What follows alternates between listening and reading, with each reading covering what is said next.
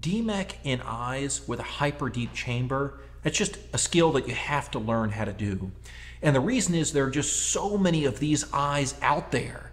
You know, the most common reason why you would have a hyper deep chamber is if the eye is post vitrectomy. But there are so many other reasons why you could have a deep chamber. Like, for example, very elderly patients just have a syneretic vitreous body. And so as a result, with the vitreous liquefied, it just behaves almost as though the eye has been vitrectomized. If you have an eye that's had trauma, if you have an eye with an ACIOL, there are eyes with iris problems. These are just reasons why the chamber would be much deeper than it would be in a normal eye. And if you're unprepared to do DMEK in these sorts of eyes, there'll just be this huge number of patients that you're unable to operate on, or at least operate on with the best, most modern technique. And yes, of course, you can do DSEK in these eyes, but the reason that you would want to do DMEK is because it's a better surgery. It gives the patients better results. It has fewer complications. It's a more fun operation to do. It's generally a quicker surgery to do. So there are a thousand reasons why you would prefer to do your normal standard DMEK, but the key thing is, is you have to know how to do DMEK graft unfolding in these eyes. Of course, the problem is, is with a hyper deep anterior chamber, you can't get compression between the back surface of the cornea and the front surface of, for example, the iris. And if you can't get compression there, then the graft just sort of tumbles around in the anterior chamber, and it's difficult to break open those rolls and apply the graft to the back surface of the cornea. So I'd like hopefully to share with you a few little tips and tricks that we have managed to figure out over the years for how to make DMEK in eyes with hyper deep anterior chambers easier. This is a patient that we operated on in our office last week. This is a gentleman who had a nail gun injury to his eye years ago, which was repaired primarily. He had a corneal laceration, which was repaired.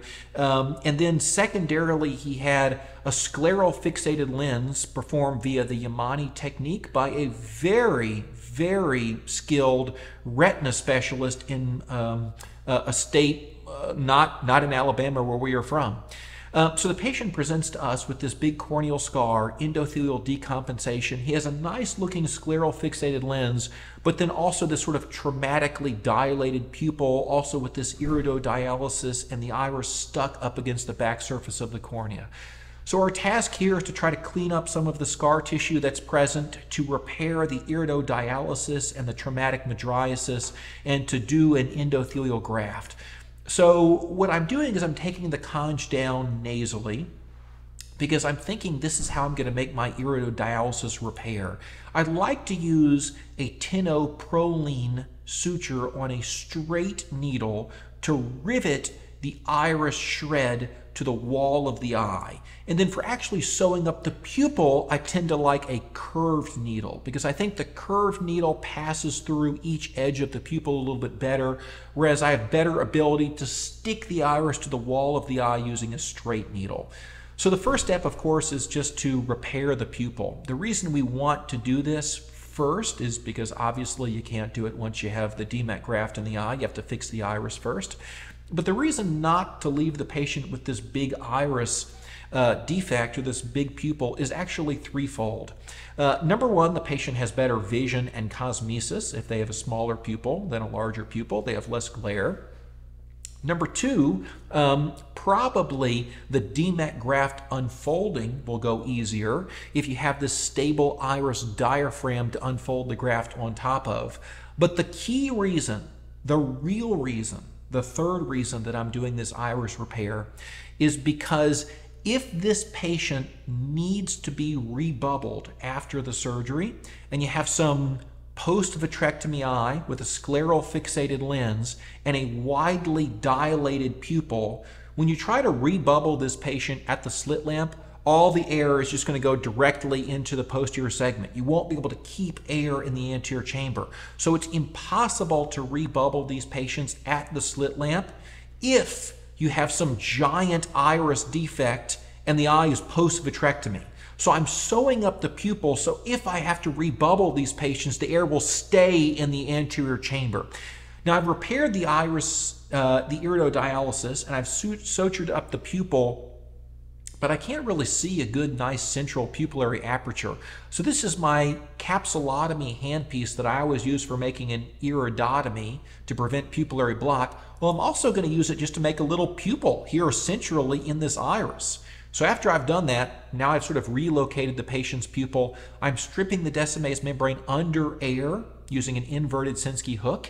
And there is going to be this knuckle of scar tissue on the back of that corneal laceration. And I'm going to reach in and I'm going to grab it and peel it with these coaxial forceps, which in my opinion are just invaluable in cases like this. If you have a complicated case, an eye where you have fibrotic, tattered shreds of Descemet's membrane with scar tissue, it's so nice to use coaxial forceps to pick and peel them off as opposed to just sort of like scrubbing at it with an inverted Sinskey hook. Now we're about to inject the graft into the eye. And of course, when we're doing any of these eyes that have bullous keratopathy, and especially in a hyperdeep chamber, the most important feature of the graft is you want to use a large diameter graft. And the reason is you're not going to get any apposition between the back of the cornea and the front of the iris. In order to pin this graft open, you're going to want to use the graft being wedged in the angle nasally or temporally or both, as opposed to having some little thing spinning around in the depths of the center of the anterior chamber. So a large graft makes these operations so much easier. So this component of the surgery is completely unedited. We're going to go through it step by step to show exactly how you unfold this graft in a hyper deep chamber. The graft has just been injected. It comes along with this air bubble. So the first thing always, number one, is just to remove this bubble. So now, and by the way, notice I'm using the main wound. There's no risk of the graft being burped through the main wound because the eye is soft. Now I'm going to stick the cannula into the lumen of this graft and I'm going to see if I can check the orientation. Remember, if the graft is right side up, then the Moutsouris sign is positive. The tip of the cannula turns blue, and that indicates the graft is facing properly right side up. So there we go. That's a positive Moutsouris sign. It's time to unfold this graft.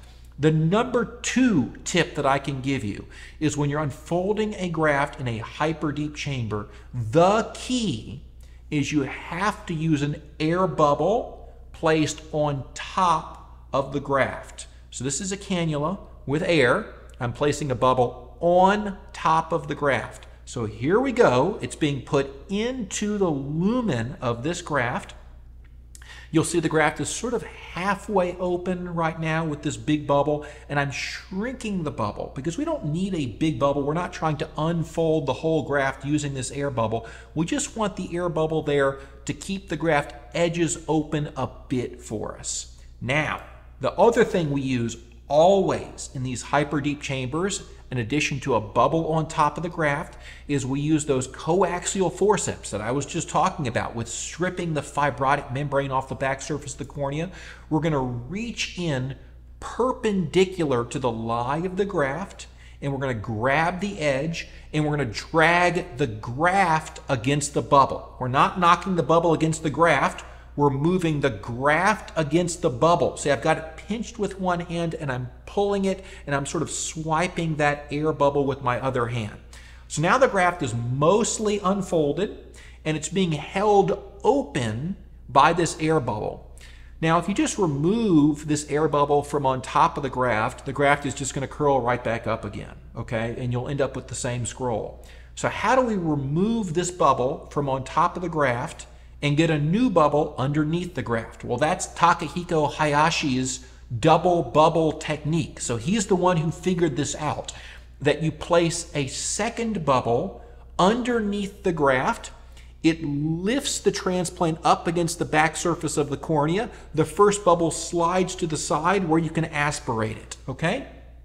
The key for doing this is you want the bubble that's on top of the graft to be big enough to hold the edges open, but not so big that it's going to resist putting in the second bubble. And when the second bubble is put in, you don't put it directly underneath the first bubble. You put it off to the side a little bit so it can rise up away from where that first bubble is pushing down. If you'll sort of watch the video, I think it'll demonstrate a little bit. So I'm using the main wound again. I put the cannula in and then off to the side just a little bit and I'm injecting my second bubble, okay?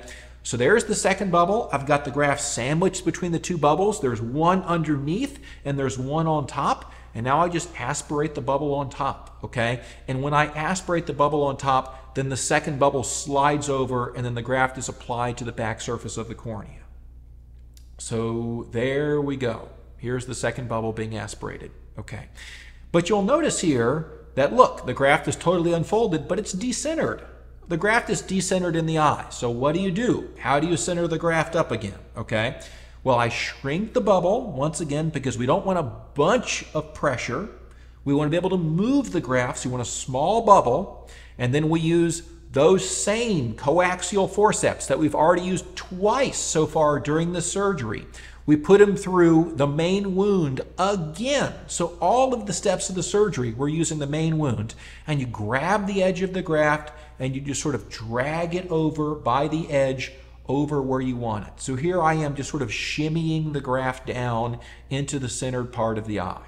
So there the graft is, fully unfolded, opposed to the back surface of the cornea, and now we're just going to expand that bubble to pressurize the eye and lift the graft up back to where it belongs firmly. Okay. So I hope that this was apparent from this video that there's no random tapping on the surface of the eye. There are no random jets of fluid in the anterior chamber to sort of see what happens and see if you get lucky. Um, DMEK in these really complicated eyes can be super straightforward and predictable and algorithmic just like cataract surgery in a complicated eye. You know, with cataract surgery, you're not like scratching your head and just sort of fumbling around and seeing what works. You know, you have a plan going in. And there are certain tricks and certain techniques, tactics that you can use that work reliably when you have various complicated setups. It's the exact same thing with DMEK. You know, even in these complicated eyes, graft unfolding can be a 20 second process that's very reproducible and reliable if you know what the tricks are. And the tricks are number one, you want to use a large diameter graft. Number two, you use coaxial forceps to grab the graft and move it against number three, an air bubble that you put on top of the graft. In order to transition the bubble from the top to the bottom, you use Dr. Takahiko Hayashi's double bubble technique, which is just brilliant. And then to finally manipulate the location of the graft, use coaxial forceps. So all of these lessons we had to learn ourselves the hard way and hopefully you won't have to go through the same sort of painful learning process that it took us. I hope this video is helpful, and if we can provide any other information for you, people learning DMEK or doing DMEK, of course, just let me know.